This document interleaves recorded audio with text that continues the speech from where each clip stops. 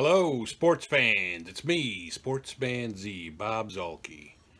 And today, I'm doing the video that everybody's been waiting for. The comparison of the Chicago White Sox of 2020 to the 2020 Cleveland Indians. The team that's supposed to be on the downskids. But judging from this, they're not on the downskids just yet.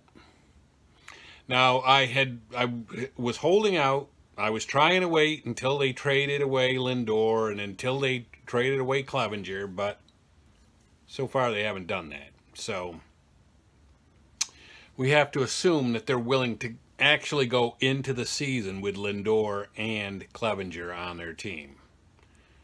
Of all the crazy ideas. So that's where we are. We got to compare them to what they got, and uh, so this is uh, this is what it's looking like. And um, as you can see, I got my usual White Sox lineup over here. You got Robert in center field because they signed him to a big extension, so now he's on the team.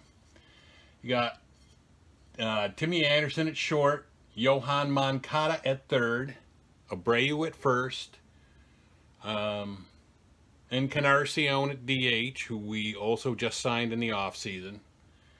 Uh, Grandal at catcher, again, just signed him in the offseason. Um, Eloy Jimenez in left field. Uh, Nomar Mazara for right, who we traded with the Texas Rangers to get. And then you got the Mendick Madrigal connection at second. Mendick probably at the start of the season, right out of uh, spring training, and then Madrigal when his clock will not start running for this year. And then they'll probably bring him up, assuming he's doing well enough in um, AAA until then. So that's probably what you're looking at right there. And then, of course, the rotation of Giolito, Keuchel, Lopez, Gonzalez, and Cease. Um, Kopech may factor into that, of course. Kopech may start in place of Lopez and Lopez in the bullpen. You don't know. And then you got Cordero, Colome, Bummer, Evan Marshall, Fulmer, Fry, Herrera, and Cishek, who we also just signed in the offseason. And then you've got the bench of Leury Garcia, James McCann, Zach Collins, Adam Engel. And of course, I've been over this. If you want to go back and check out any of the other comparison videos that I've got, um, the um, and I will leave a link to that in the description. But you know, they I've I've been over all of this now. One notable thing that has happened fairly recently is that we uh, no longer have um, uh, Dylan Covey because he refused to take a uh, minor league assignment and wanted to go out and test um, his, you know, he wanted to take that, that 569 earned run average road show and see if he could get a job somewhere else. So, good luck with that. Um, I don't know how much better off he would have been staying with the White Sox because, like, now we're really starting to really stockpile good arm, good young arms. So he may not have had any chance, really, of getting back onto the White Sox. So maybe it was all for the best, but you got to find a team that's really hard up for pitching. And then you've really got to up your game if you're Dylan Covey. So, um, but other than what I've mentioned in, because I have mentioned before in previous videos that Covey was a possibility for the bullpen, but now no longer. No. So this is uh, pretty much what we've got. Now, what's troubling is that this Cleveland lineup is, well, it's kind of formidable. I mean, if you take a look there, you've got Lindor at shortstop, and Lindor hit 284 last year with 34 or 32 home runs and an 854 OPS, and he's a shortstop. And then you've got um, Mercado, who hit 269 with 15 home runs last year. And then Santana, who hit 281 with 34 home runs. When is that guy going to slow down? And he had a 911 OPS. I mean, I keep hoping he'll get old and, you know, just fall off a cliff. Well, I don't see the cliff anywhere. And then you got um, Ramirez at third, Franmil Reyes in right field, and Reyes had 37 home runs last year and an 822 OPS. Um, Jake Bauers is a possibility at first base, um, but he doesn't have very impressive numbers. Um, some of what I saw had him possibly platooning with um, Jordan Luplow, but Luplow is probably better. Um, then you got Cesar Hernandez at second, Roberto Perez at catcher. Now, P Roberto Perez cannot hit very well, but he is one hell of a catcher. He's got a great arm, good at framing. He's an all-around great catcher. And then you got Delino DeShields Jr. for center field. So, uh, and then you got, and see, here's the problem. You got a ro rotation that's got at the top Clevinger, Bieber, and Carrasco. I mean, Clevinger was 13 and 4 with a 271 earned run average. Bieber was 15 and 8 with a 328. Now, Carrasco was injured for a lot of last year. He only pitched about 80 innings. Uh, so he was only 6 and 7 with a 529 earned run average. But you know when he's healthy, he's, he's pretty good. And then you got Civale, who uh, Aaron Civale, who was three and four with a 234 earned run average, didn't pitch a lot, but he's one of their good young pitchers, and he came up for a cup of coffee last year, and now I think he's going to stay and like raid the coffee shop. And then you got Plesac in the last spot. He's eight and six. He was eight and six with a 381 earned run average. Um, he's uh, actually Dan Plesac's um, nephew, I think, and he again, like Civale, is a young guy. He only was up for a little while. So uh, we'll see what happens there. And then you got a bullpen that's actually not too bad either. You got Brad Hand out there, who, like, people have been asking about Brad Hand, so he must be good.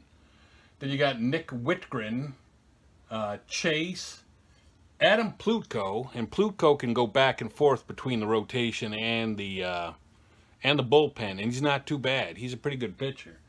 And then you got Adam Cimber, and then Oliver Perez and Hunter Wood. So this is not too bad of a bullpen, really. Um, and then you got a, uh, the bench of Luplow and possibly platooning with Bauers, but we'll see. And then you got Sandy Leone, another great defensive catcher that can't hit, backing up a defensive catcher that can't hit. And then you've got uh, Arroyo and Mike Freeman. So, you know, the bench is not that impressive. I think uh, if you compare our bench to theirs, we got a better bench.